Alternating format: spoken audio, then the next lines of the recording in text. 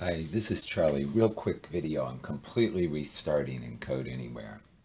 Let's come in here and suppose that for some reason we feel that this particular repository, the Prog 270 Calvert repository, is gone bad. It's not working for us right now. There's ways to fix it, but you don't know what they are. So you just want to start again.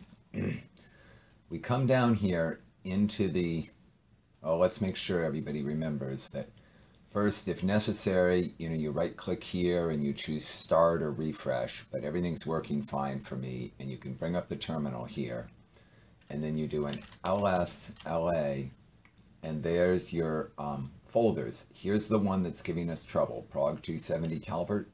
So you just type remove dash r and the name of the folder. Type the first couple letters, then tab.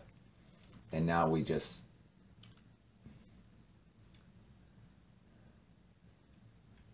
we remove everything. If you get that kind of message, I wasn't expecting that. Let's try sudo remove. Okay, and the sudo remove gets rid of everything. Okay, and now that folder's gone. I'll come back over here and I'll do a refresh. And as you can see, the folder's gone.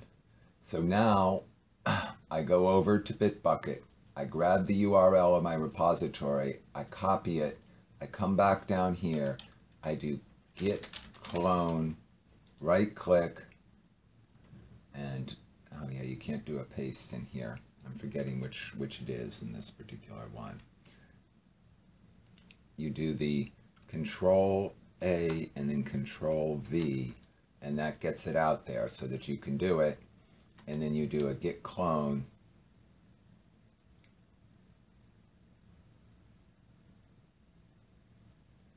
goes ahead and pulls it down and we can do an ls la here and we see our folders back. If we come back over here we refresh and now here's the new folder. Everything's recreated the way it was at least through the last time we did a push. And now this this repository should be working fine because you just pulled it freshly from github. All i wanted to say thank you um, See you, talk to you later. Bye now.